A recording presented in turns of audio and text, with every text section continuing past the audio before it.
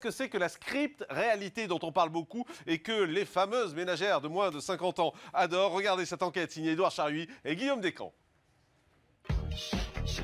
Tout droit venu d'Allemagne, la script reality envahit nos chaînes françaises. Son concept, prendre des faits divers et des histoires réelles et les faire jouer par des comédiens.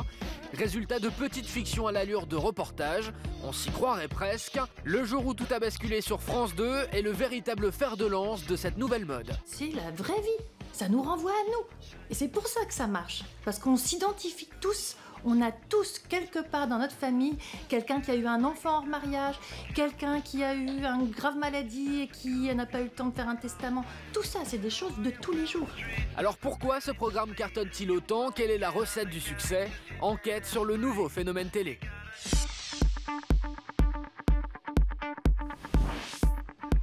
Cela fait maintenant deux ans que le jour où tout a basculé squade les fins d'après-midi sur France 2.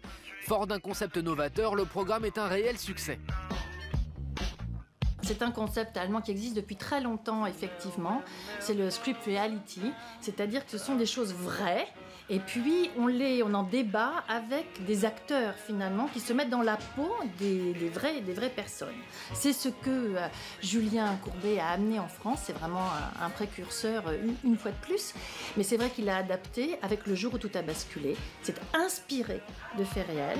L'idée est de faire jouer des faits divers par des comédiens avec la saveur de la réalité. S'il vous plaît, madame.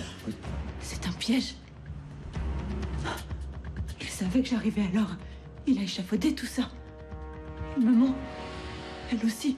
Mais madame, je ne vous connais même pas. Mais tu connais mon mari, Alexandre chaque épisode de 26 minutes cherche à raconter une histoire inspirée de la vie réelle et qui cale avec les problèmes de la société française. Finalement, c'est pas si, euh, si anormal que ça, puisque tous les thèmes abordés sont des thèmes qui tournent autour de la famille. La trahison, les bonheurs, les joies, les malheurs. À mi-chemin entre la fiction et le reportage, le programme soulève quand même quelques questions, notamment sur la qualité qui pour beaucoup laisse à désirer, en particulier le jeu des acteurs. Justement, on a fait quand même travailler euh, l'année dernière 1000 comédiens. Donc c'est vraiment, vous avez vu un peu ce vivier de talent qu'il y a, parce qu'on dirait qu'ils jouent mal, mais c'est pas vrai. Quand ils sont euh, ensuite interviewés face caméra, ils sont comme tous les gens que l'on voit dans les reportages. Ils ont l'air un peu empruntés, empotés devant. C'est normal. Après notre mariage, il est devenu froid. Les distances, j'en ai beaucoup souffert. Mais je ne voulais pas admettre que je m'étais trompée, alors j'ai tout fait pour que ça marche. Et donc, ça, au contraire, ça traduit bien les gens, ce que nous sommes. Une fois, une fois encore, ils sont notre miroir. Mais qu'est-ce que vous foutez tous les deux, là Ça va pas durer comme ça Ta gueule, espèce de petit con Toi, tu veux de un fils après le père, c'est ça T'es pathétique. J'ai pas envie de te casser la gueule, je me barre.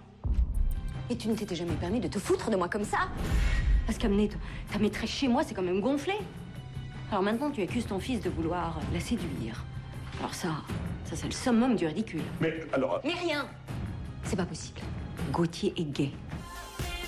Des acteurs, il y en a à l'appel. On retrouve notamment beaucoup d'acteurs issus de la télé-réalité, comme Jean-Édouard du Loft 1. Écoute, j'ai 30 ans. J'ai perdu la femme de ma vie à cause de toi, alors je prends le ton qui me plaît. Mais pourquoi t'as fait ça? Maxime Mais calme-toi, mon chéri. Me calmer? Non mais tu rêves? Tu crois que j'ai pas compris? T'as tout fait pour foutre en l'air l'anniversaire de relier notre couple. En fait, maman, tu ne m'aimes pas. T'es juste égoïste. Mais quelle ingratitude Le programme n'en pâtit pas pour autant, puisqu'il crée la surprise sur France 2 au niveau audience, avec des pics à plus d'un million de téléspectateurs. C'est un succès parce que c'est inspiré de véritables faits, divers. Par exemple, on a euh, euh, évoqué la prostitution estudiantine.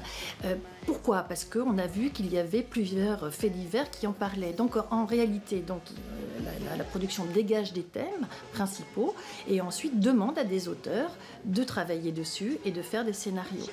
Une double surprise même, au départ, la ménagère, cœur de cible du programme était visée, mais les différents sondages et enquêtes montrent que le format touche aussi les jeunes. C'est la surprise du chef, l'heureuse surprise je dirais euh, pour nous parce qu'on pensait que vu l'heure de diffusion ça s'adresserait à un public euh, qui euh, ne travaille plus, plus, plus âgé et en réalité on s'aperçoit que c'est un spectacle familial. Face au succès du programme de Julien Courbet, les chaînes concurrentes n'ont pas attendu longtemps pour lancer leur propre script reality. On retrouve sur TF1 Au nom de la vérité, produit par Arthur, ou encore Mon histoire vraie, et sur France 3, Si près de chez vous, qui raconte chaque jour à 13h45 des faits divers qui se sont produits en France. Et là encore, le programme s'est rapidement imposé sur la chaîne publique. Julien Courbet, quant à lui, a lancé cette année Le Petit Frère du jour où tout a basculé, appelé cette fois-ci Le jour où tout a basculé à l'audience, une déclinaison judiciaire de l'émission.